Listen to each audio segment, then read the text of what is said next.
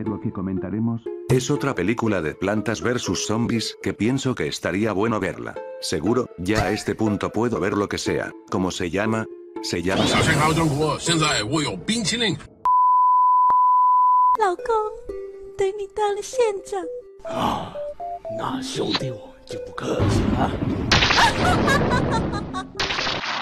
Oye una cosa Yesan, sé que no soy el más grande conocedor de plantas versus zombies pero acabas de mostrarme dos lanzaguisantes teniendo plantisexo apenas en la mera primera escena, ¿planti qué? Ay yo que sé, ¿tú qué nombre le pondrías a dos plantas teniendo coito? Buena pregunta, quizás plantarreamiento, o plancopuloe aguanta ¿por qué estamos hablando de esto? Es que sin ofender pero esta cosa que es, está todo en chino mandarín japonés o no sé, ¿cómo se supone que entenderemos esto? A ver tienes una mejor idea, se supone que esta vaina es la gran esperada segunda parte del collab que hicimos hace un montón de meses, esa cabezota furra tuya tiene alguna idea distinta para la temática de este vídeo?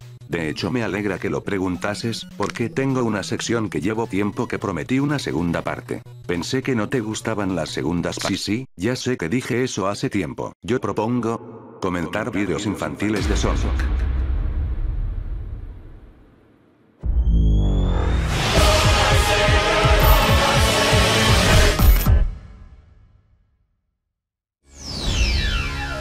A cabrón copiaste hasta mi intro, eh. Copiar me parece una palabra muy fea. Yo diría que es más una inspiración. ¿Así?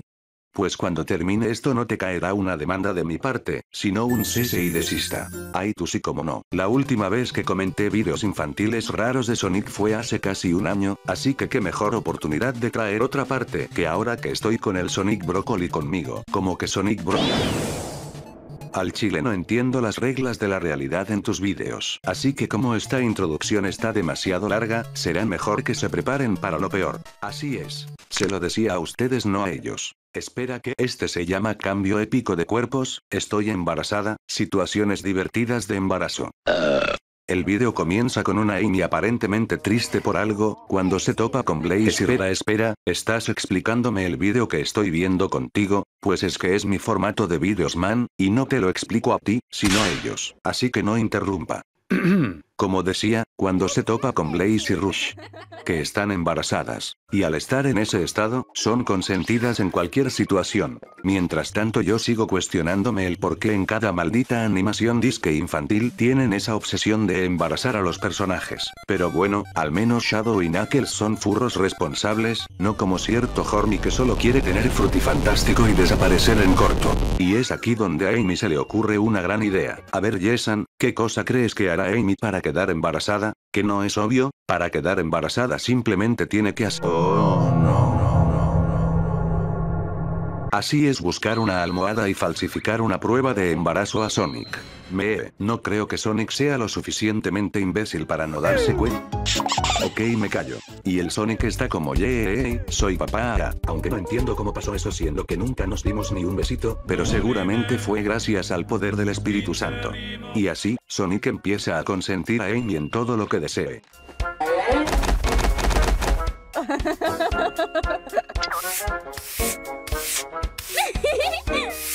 Aún puedo irme por la puerta, ¿no? ¿Cuál puerta?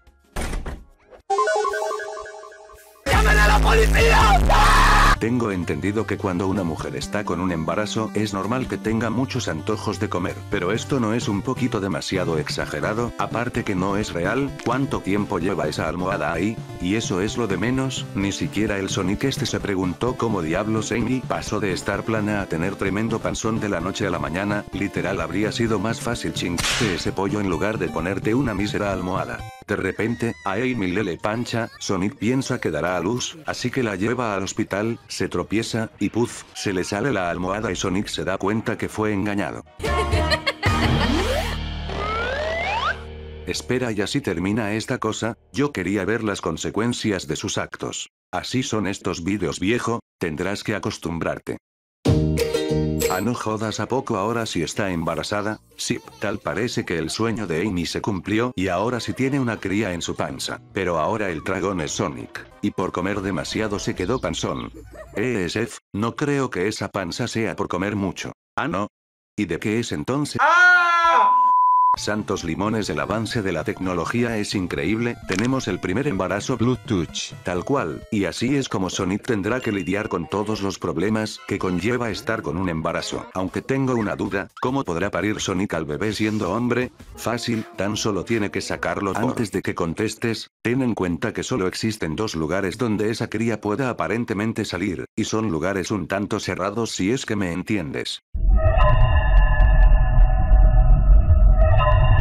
Jajaja, qué chistoso, el bebé tiene calzoncillos y zapatos incluso estando en el vientre, que Sonic o Amy tuvieron que comerse un armario de ropa para que no naciera desnudo. Sonic le pide perdón a Amy, y esta con su tecnología Bluetooth vuelve a tener al chiquillo en sus tripas como debe de ser.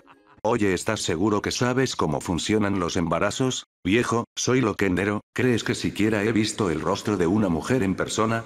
Y así termina el capítulo. Gracias a Dios. Ahora veamos otro.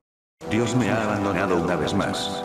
Muy bien, este se titula El toque dorado, y por la miniatura y título puedo deducir cómo terminará todo esto. ¿A qué te refieres? ¿Que no has oído del toque de Midas? ¿Quién? El famoso rey, ¿Quién? aparece en la nueva del gato con botas. ¿A quién? Hasta en una canción de The Living Tombstone le hacen referencia con algo así como Touch me, my last thing, me part of your desire. ¿Quién? En fin que es sobre el deseo de un rey que quería que todo lo que tocase se convirtiese en oro, más o menos como lo que hago yo, solo que con el efecto contrario. Oh, qué bonito perrito. En fin que este Sonic pobre lleva a su hija a la escuela y oh, oye, bájale de limas como que pobre, ¿qué acaso eres un clasista o algo?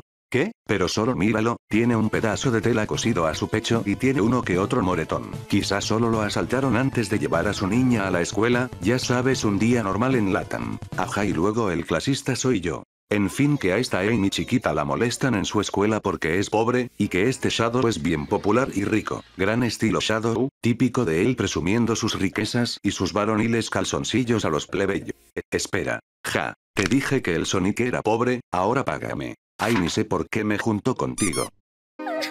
She's poor. Momento, ¿puedes regresarle un poco? She's poor. Jaja, son tan pobres que no pudieron costearse un efecto de sonido de flashback y usaron el efecto de muerte de GTA V, ojito con la humildad. Al día siguiente Sonic ve un anuncio de un guante que dice que convierte todo en oro, así que sin siquiera haber mirado el precio, va directamente a buscarla con el Dr. Eggman, este le pide el dinero primero pero viendo que Sonic no tiene ni dónde caerse muerto, le regala el guante sin ningún tipo de intención maligna. Básicamente el lore de WinRAR explicado en una escena. Y así Sonic usando el guante del infinito convierte todo lo que toca en oro puro. No era que las cosas que son de oro puro pesan un chingo, digo creo que no era necesario convertirlo todo en oro. Aquí tienes tu peluche de oro como lo querías hija. Gracias, papá. Te quiero mucho mi niña. Amy intenta quitarle el guante, pero al Sonic resistirse termina tocando a la Amy chiquita, lo cual hace que se convierta en oro. Y fin. Ta madre estos cortos no pueden tener ni un final con sentido. En fin en el siguiente corto tenemos a un Sonic y una Amy ya siendo adultos haciendo oro. Nada de escenas de sexo en mi canal cristiano. En eso llega Rush entre lágrimas a decirle a Amy que Shadow le pegó. Wow, violencia doméstica, perfecto para los bebés. Amy le dice que puede quedarse en su casa, pero a Rush le termina cayendo demasiado bien Sonic, lo cual da a entender que estos pocos minutos serán de puros melodramas y malentendidos. O, nuestros tropos favoritos. Yay.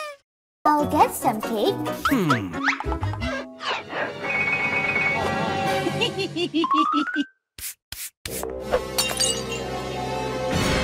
Pero como puedes malinterpretar eso, está solamente limpiando lo que dejó caer, no hay nada sugestivo aquí.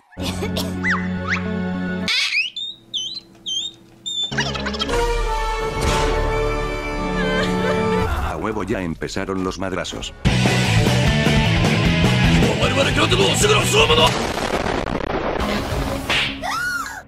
Vamos solo una cachetada, la cosa se complica más y Amy termina rompiendo con Sonic. Al ver a Sonic en tan mala situación, Rush aprovecha para...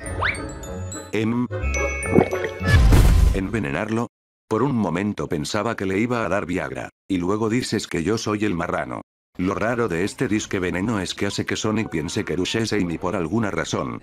Y bueno que Amy se termina enterando por las cámaras de seguridad de su casa supongo. Na hambre pues tremenda cámara, hasta es capaz de hacer zoom en la araña, con todo y efecto. Ya ni la cámara de nuestra cocina con la que Arlie se dio cuenta que el zombie lector no dijo uno cuando jugó con Dave generó tantas conveniencias. Y así va Amy al rescate a sacar a esa usurpadora. Sonic se despierta de su trance y echan a Rush a la calle. ¿Denunciará Rush a Shadow por violencia de género o algo? Probablemente no. Muy bien, una sola más y terminamos esta pesadilla. Descansen en paz todos. Sonic bebé dice adiós. Este se ve medio interesante. ¿En serio lo crees? No. El corto comienza con un Shadow bebiendo y un Shadow bebé. Bebiendo también. Muy bien, esto es muy raro. No es el hecho de que esté bebiendo, porque perfectamente podría estar bebiendo leche en su biberón y no habría problema, pero está bebiendo en una puta botella de vino. A huevo no sabía que ya existía el alcohol para bebé, cada vez más inclusiva esta sociedad.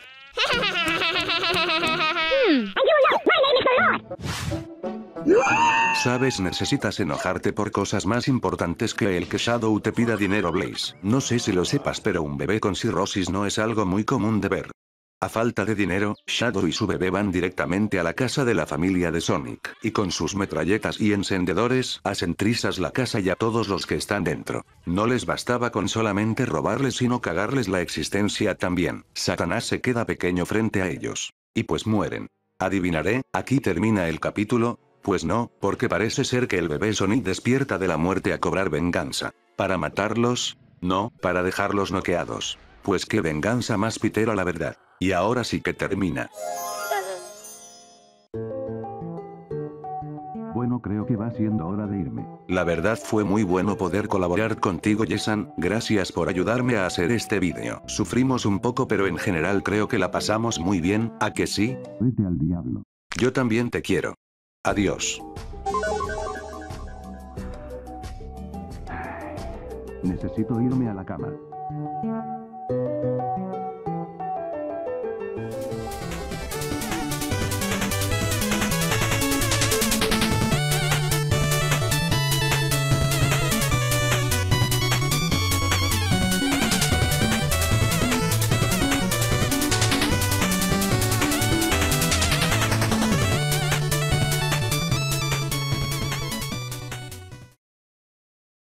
Ayer en la noche probé Plants vs Zombies por primera vez, y hoy me levanté con ganas de cogerme un girasol. Fandom de PBZ, ¿es esto normal? Qué raro, eso solo pasa después de jugar el PBZ Héroes. Bro, necesitas un psicólogo. ¿Pa cuando un directo jugando PBZ Héroes?